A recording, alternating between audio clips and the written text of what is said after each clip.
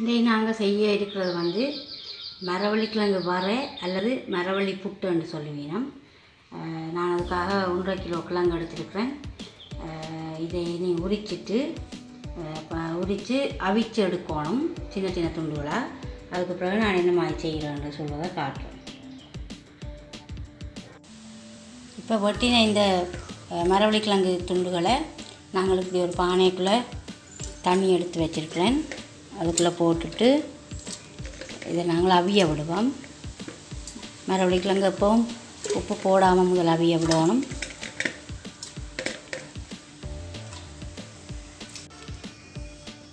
மரவள்ளி மரவள்ளிக்கிழங்கு அவிய வச்சு வடித்து தண்ணியை வடித்து இது கொஞ்சம் ஆற வச்சுருக்குது. இப்போ இது செய்கிறதுக்கு தேவையான பொருட்களை பார்ப்போம். வெங்காயம் பெருஞ்சீரகம் கறிவேப்பிலை செத்தல் மிளகாய் தேங்காய்ப்பூ மஞ்சள் தூள் செத்தல் தூள். சின்ன வெங்காயம் கால் கிலோ வெங்காயம் வட்டம் வட்டமாக வெட்டி வச்சுருக்குது.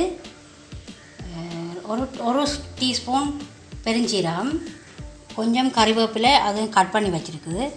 மற்றது ஒரு பத்து செத்தல் மிளகாய் பொடி பொடியாக கட் பண்ணி வச்சுருக்குது. செத்தல் தூள் மூன்று டீஸ்பூன் செத்தல் தூள் எடுத்திருக்கிறேன். ஒரு டீஸ்பூன் மஞ்சள் தூள். ஒரு தேங்காய்.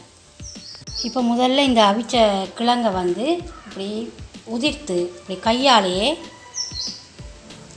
அவிச்ச கிழங்கை உதிர்த்து எடுப்போம். இப்போ நாங்கள் எவ்வளோ கிழங்கு அவிச்சு வச்சுருக்கிறோமோ அந்த கிழங்கை உதிர்த்து இப்படி எடுத்துட்டு எடுத்த பிறகு தான் மற்றது என்ன செய்கிறேன்னு நான் காட்டுறேன்.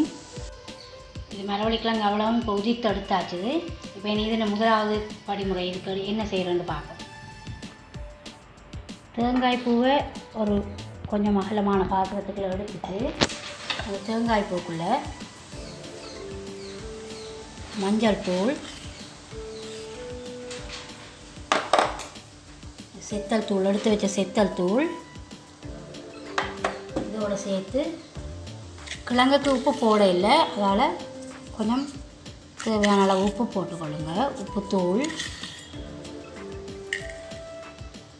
இதை நாங்கள் என்ன செய்வோம்னு இதை இதை மிக்ஸ் பண்ணுவோம்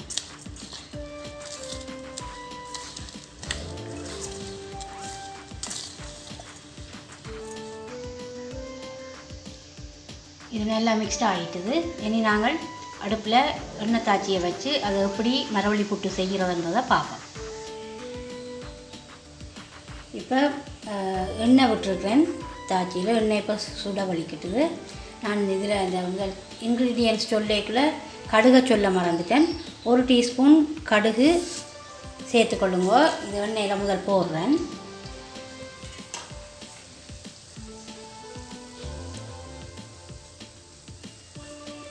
கடுகு பொரிஞ்சு கொண்டு இருக்குது இப்போ இதுக்குள்ளே நாங்கள் இந்த சின்ன வெங்காயத்தை சேர்ப்போம்.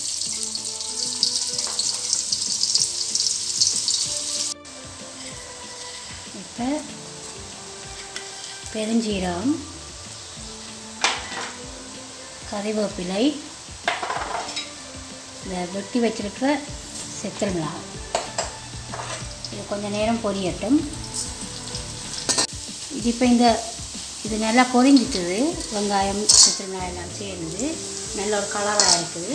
இதுக்குள்ள இப்போ நாங்கள் இந்த சேர்த்து வச்சுக்கிற இந்த தேங்காய் பூ இதை சேர்க்குறேன்.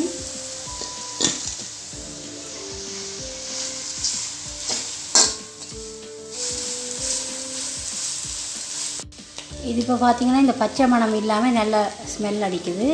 நல்ல தேங்காய் பூ எல்லாம் நல்ல எண்ணெயில் வெந்திருக்குது. இப்போ இதுக்குள்ளே இந்த உதிர்த்து வச்சுருக்கிற மரவள்ளிக்கிழங்க சேர்த்து கை விடாமல் இதை கிளறி கொண்டே இருங்க. ஒரு ஃபோர் மினிட்ஸுக்கு அப்படியே கிளறி கொண்டே இருங்க.